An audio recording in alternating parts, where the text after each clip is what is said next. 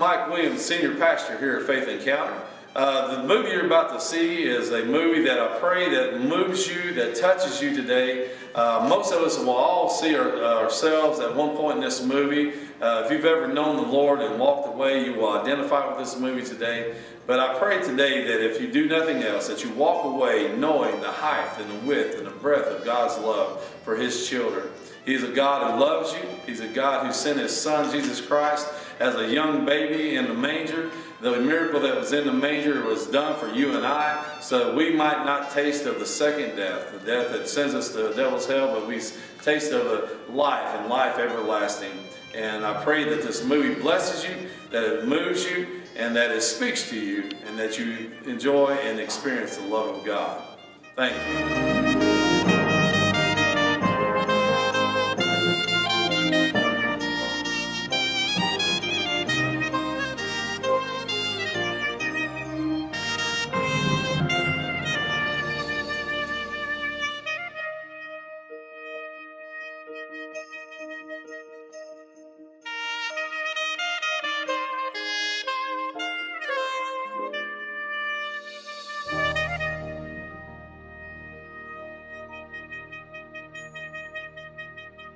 You need a ride? Yeah, that'd be great. Come on in here, old buddy.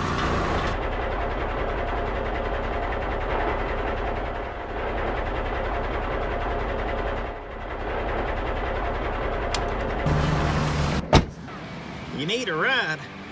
I don't reckon if you didn't, you wouldn't have been standing out there on the side of Highway 316 with your thumb sticking out. It's snowing and all.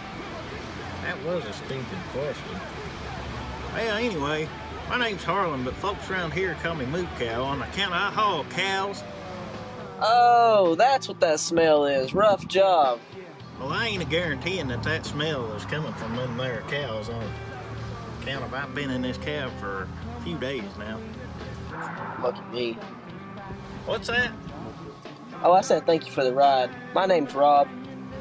I see that there guitar. You a music man? Nope, I'm a chef. I use this to stir my soup. Another dumb question. I deserve that answer. I spend a lot of time in this truck alone. I'm not very used to making all this conversation. Uh, I used to have a buddy that rode along with me, but, well, that's a long time ago. I'm sorry I'm not good, real good with people. I'm sarcastic sometimes. So that's why I play alone now.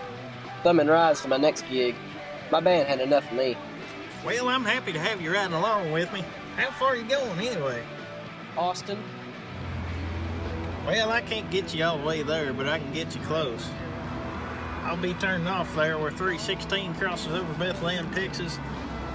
I can drop you off there. You just stay on 316 and it'll take you to your destination. that's funny. What's that? Bethlehem on Christmas Eve. Well, that's good news. What's that? If you know about Bethlehem, then you must know about Jesus. No. Well, yeah, maybe I used to. Used to. That's like saying I used to know my daddy. I may not have talked to him in a while. Heck, I may not even have a relationship with him. But I still know he's my daddy. Oh, great. I used to ride with a Jesus freak. Jesus freak. Jesus freak. That's the best thing I've been called forever.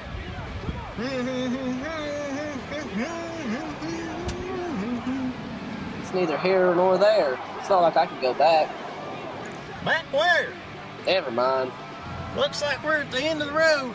Are you hungry? Actually, I am. I could use about to eat. It's gotta be cheap. I'll drop you off this little choking puke here. Called Reds. Choking puke. Sounds yummy.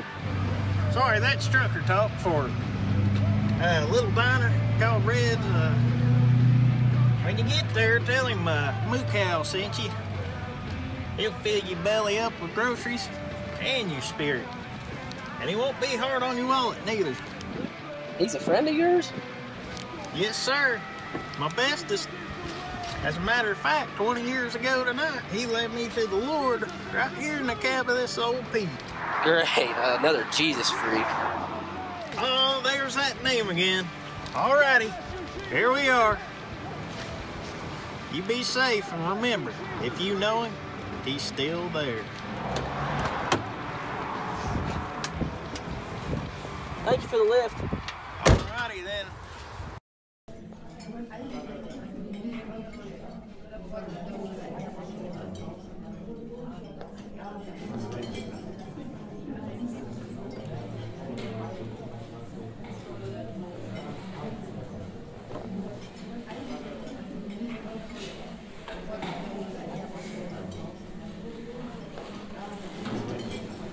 Hey there. Welcome to Red. My name's Maggie. I'll be your waitress because, well, I'm the only waitress. Uh, what would you like to eat today? I'll have a coffee, please. Okay, I'll be right back.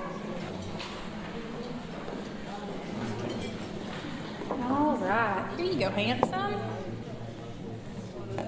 Now, any ideas on what you would like to eat today? Yeah, I think I'll try this hot steak sandwich with fries. Oh, my sweetie, your life is about to change. It's the best. I'll be right back, okay?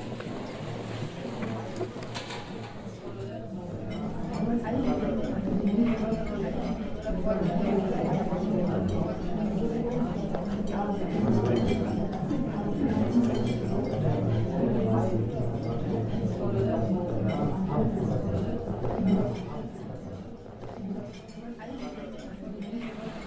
I never imagined myself in nowhere Texas broke, alone and hungry, hitching a ride from a Jesus freak that dropped me off in a choking puke.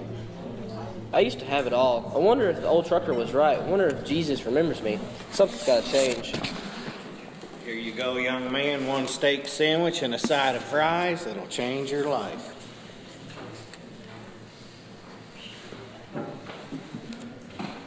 I used to ride with the trucker. Uh, I think his name was like Goatman or something like that. Or maybe Cowboy. You mean Moo Cow? Yeah, that's it. Moo Cow. He probably smelled like one too. I told him for years he'd spent too much time with those cows. How long you been doing this? Seems like forever. Well, I guess it's been going on about 45 years. I've saw a lot of people come and go through them doors. Saw a lot of pain and happiness. I just try to give good food and a good ear. A good ear. Yeah, most of the time listening to other people's problems makes you forget about your own. See, Jesus saved me, so I want to show his love to others when I can. Oh yeah, Jesus freak. What's that? Oh nothing. Old Mook, I'll tell you, we'd been friends for years. Matter of fact, it was 20 years ago tonight I had the pleasure to lead him to the Lord. Right there in the cab of that old smelly Pete. Yeah, he shared that.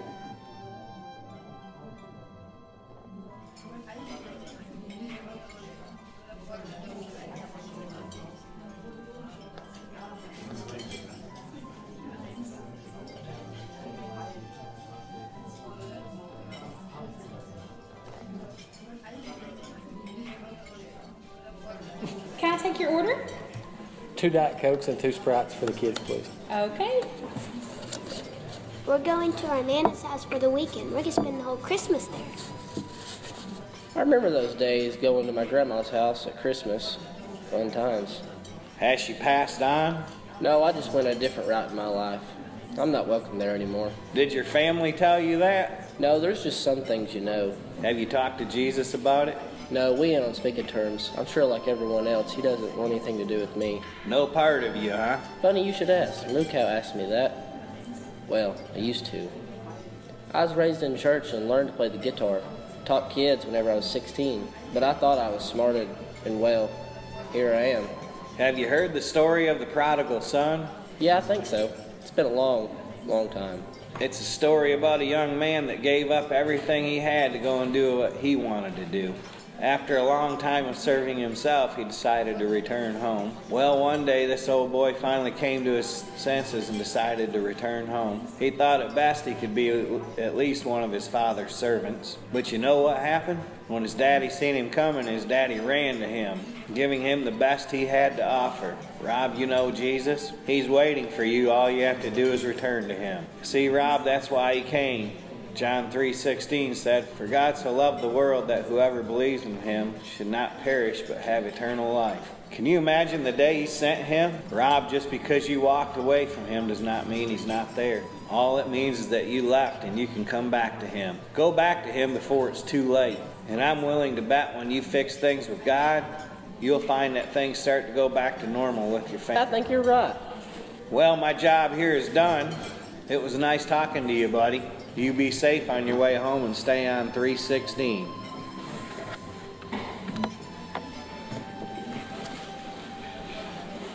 Well, how was that hot steak, handsome? Oh, you were right. It was the best. And you know, Maggie, I think I've, you have really changed my life. That talk with Red did me a lot of good. As a matter of fact, I'm going to call my dad and spend the Christmas with my family. Wait, talk with Red? Yeah, the cook who brought me the food. He's an amazing wise man. Well, you're right about that, honey, but I don't think that you had a talk with Red. Baby, Red was killed 20 years ago tonight out here on Highway 316. He was making a run with his best friend Moo Cow. They were hauling some cattle, and unfortunately, both of them were killed. He was a fine man, both of them were. I really miss him. Well, I gotta go wait the rest of my table. See ya! I need my check. Oh, this one's on me, honey. Besides, that story about Red made my day.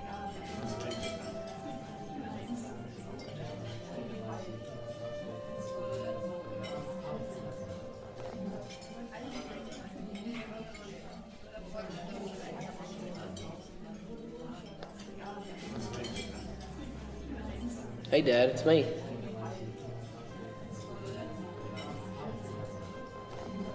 I want to come home.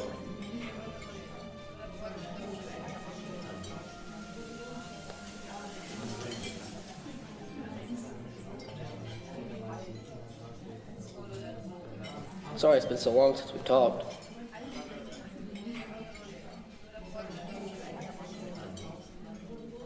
I can't wait either. See you then. Love you, bye. You never know when you're entertaining angels. Hey, I remember that.